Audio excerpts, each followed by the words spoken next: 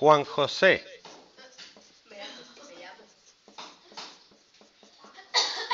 Y su novia, Berta. Berta. Van a su encuentro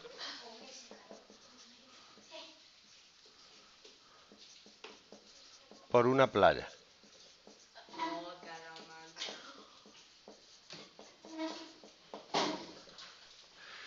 Juan José ha recorrido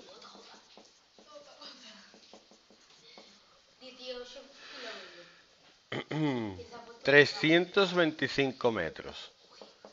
Y Berta 169. Si todavía les quedan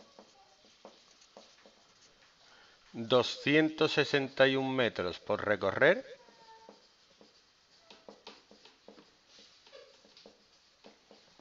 ¿a qué distancia estaban cuando se vieron?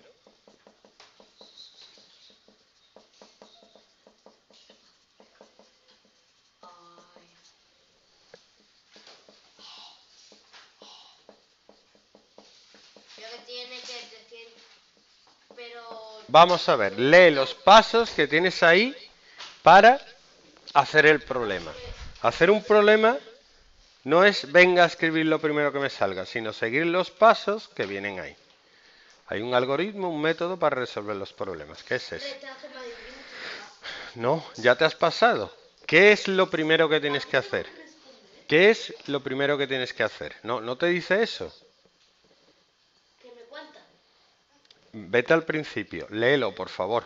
En la, en la resolución de problemas. La resolución de problemas. Bien, ¿qué es lo primero que tienes que hacer? El 1. El 1. dice el problema?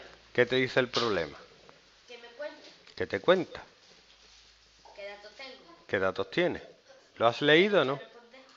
¿Lo has leído o no? El que es, El enunciado. pues me cuenta que recorrió 325 y Berta 179. Ujú. Sí. ¿Entiendes lo que tienes y lo que te piden? Pues piénsalo. ¿Qué tienes? ¿Y yo qué tienes? ¿Qué, datos te dan?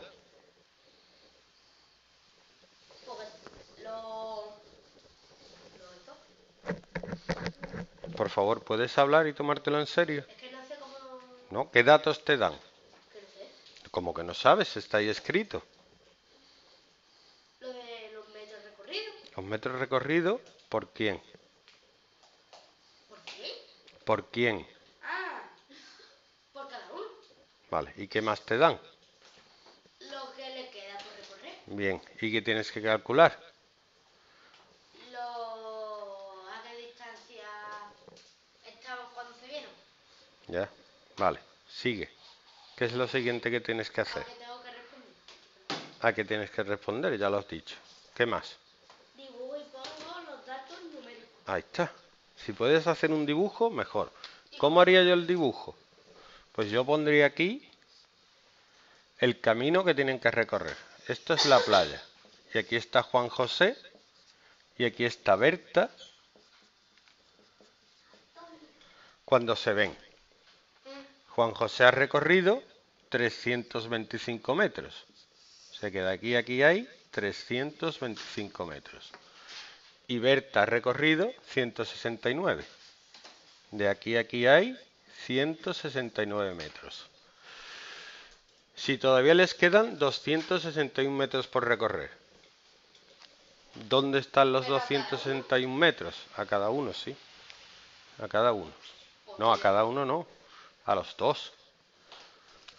Entre los dos tienen que recorrer 261 metros para, para encontrarse y abrazarse apasionadamente.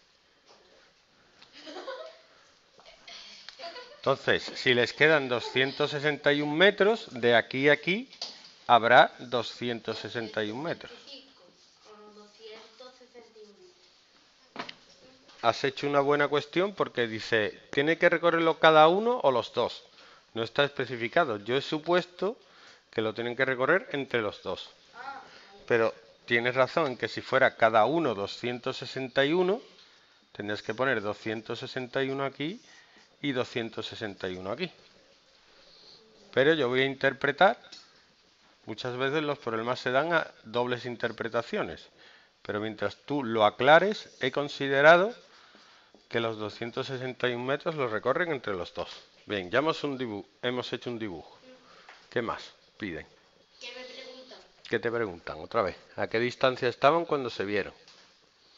¿Qué más? Recuerda, eh, recuerdo que, que es operación tengo que realizar. ¿Qué operación crees que tienes que realizar? Pues si ya lo sumo. Ajá. ¿Qué suma? 325 Ujú. más 261. ¿Ya está? ¿Y esta es la respuesta? Sí. No. No. No, eso está mal. No. ¿Por qué? Porque falta la, Ah, menos mal. la 169. Faltan los 169 metros. Y ahora sí, si sumo los tres,